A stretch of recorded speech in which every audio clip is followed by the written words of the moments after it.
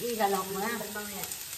So, ilalagay ko na yung ibang yung remaining gata. Lalagay na natin.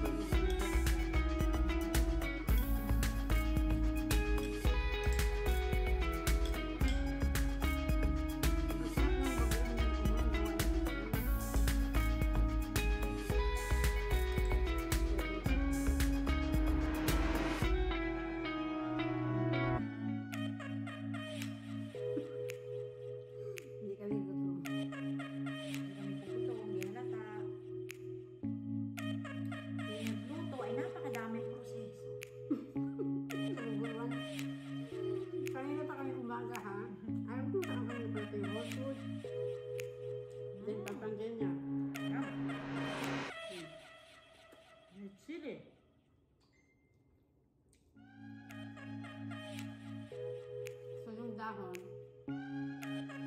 Ginawa ko ng namin. Kaibigan ko yun po kong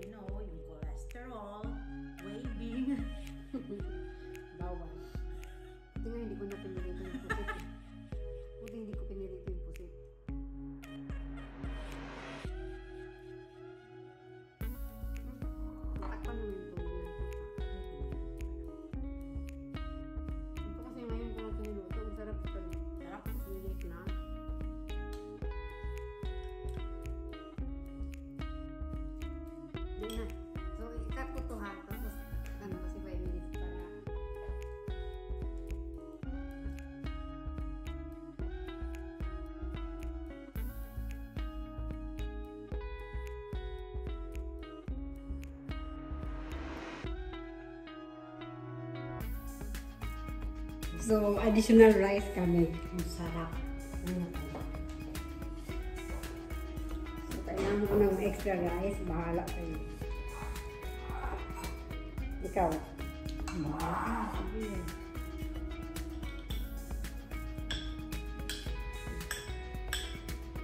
Buti na lang nilubos ko yung marunay. Masarap naman yung ganyan. Yan.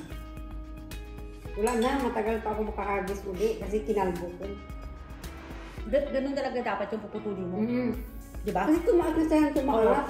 Para siya mag-ano ulit siya ng bagong ano na. Diba? Masarap yung bagoong na may gata. First time kong kumain ng bagoong na may gata. Talaga? Kasi ano to ng Sambuanga. Tingin Sambuanga si Susan, di ba? Hmm? Ito lagi nang binabanggit sa akin. Nung ginagawa yan sa amin. Parang childhood, ano niya, namimiss niya.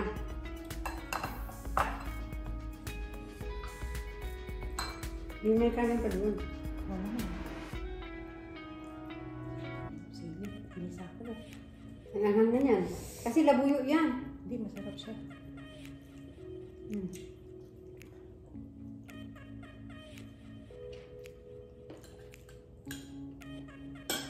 Sinatbay na isip niya, ano man nangyari sa dalawang ito? Hindi mo lang Ang sarap pag ganito nako. Di ba? Mm-mm.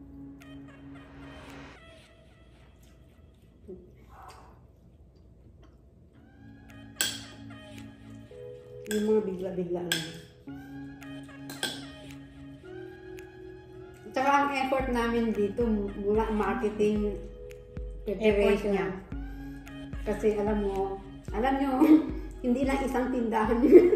Mm. Starting yesterday, dalawang seafood market na nadismaya kami sa mga tinda, tindigan kasi, ay! Ayun na, kaya ko. Ayun na siya. Wala ka ba saksak saksakan? Hmm. Hmm? Meron, pero So, paiba-iba po kami ng posisyon. So, continue tayo. Kahapon pa kami nag-ikot ng seafoods. Paano kami nakabili ng seafood dito lang pala sa supermarket namin. Malapit.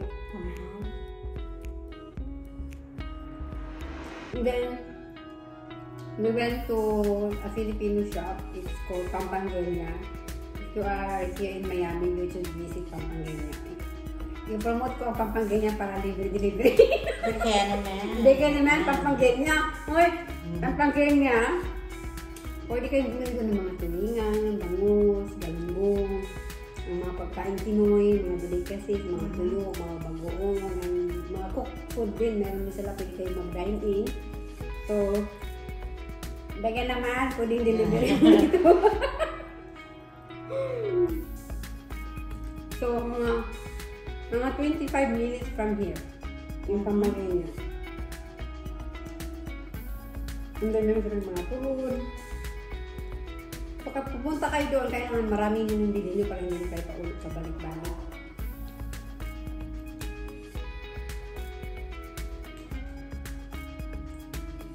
Parang this month, kaya nakadalawang punta kami ni Susa.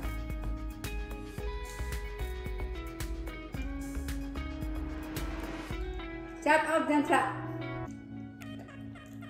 papanggay niya. Kailangan ano siya. Sorry. Ang dami ko na naubos na kanin. Ha? At saka yung hinahanap ko talaga is yung sitaw natin. Ayaw ko yung bagyo beans na nagigil dyan. Diba? Iba kasi yung sitaw natin pag may gata. Yes. So, alam mo, very particular kung magluto ko. I go anywhere to get my ingredients.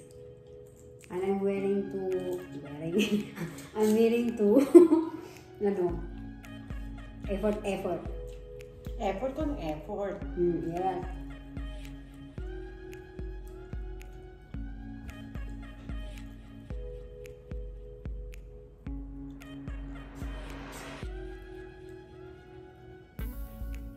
Kaso lang po yung binili nilang hipon, nawawala yung ulo. Ang sarap pa naman sipsipin ng ulo. Wala akong gusto eh. Bakit pa yung, hindi dyan sa supermarket, wala nang mga ulo yung hipon Ayun. nila. Diba? Mhm.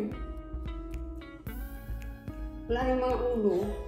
Nasaan kaya yung Eh, ang ulo pwede mo yung pakuluan. Yung Mm, sa yes. pwede mo na i- Gawin mo yung stock ah, yung iba. Yeah. Kung gusto mo ng ano.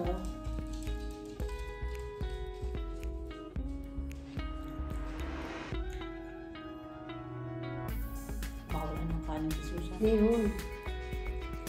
Pag maubos natin yan, magsaid tayo.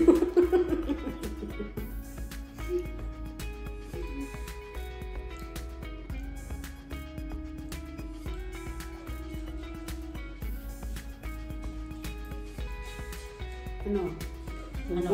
Ilan ka ng, ano, tagay? Nung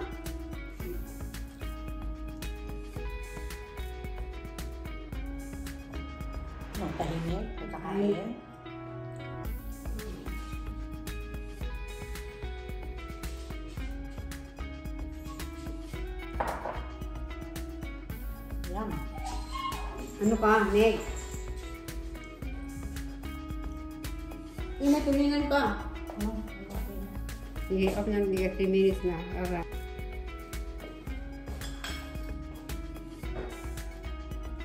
Ano? Ano? Hindi na kami magsalita.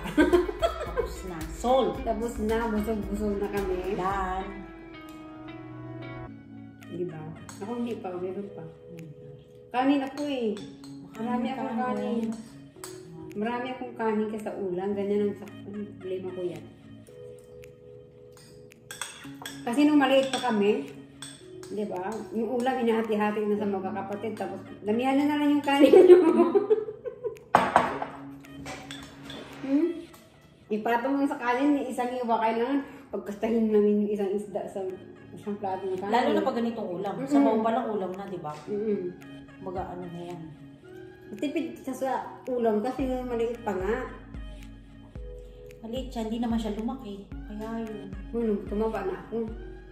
Hindi maliit lang din. Oo, oh, maliit tapos tumabang ganyan, hindi siya gumano.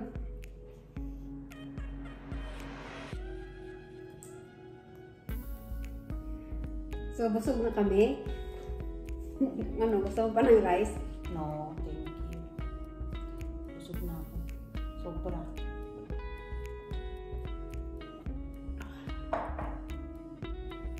So, tapos na ang aming napakasarap na mukbang. Mm-hmm. And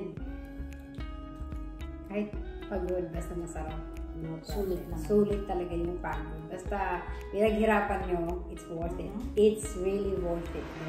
The effort from yesterday until today. Hmm. So thank you so much. So please don't forget to subscribe to my YouTube channel. If you are new to my channel, please click subscribe and malay nyo, mag-upload pa ako. Malay nyo, manalo kayo, Diyos. Just- So thank you for watching. See you on my next video. Bye. Bye.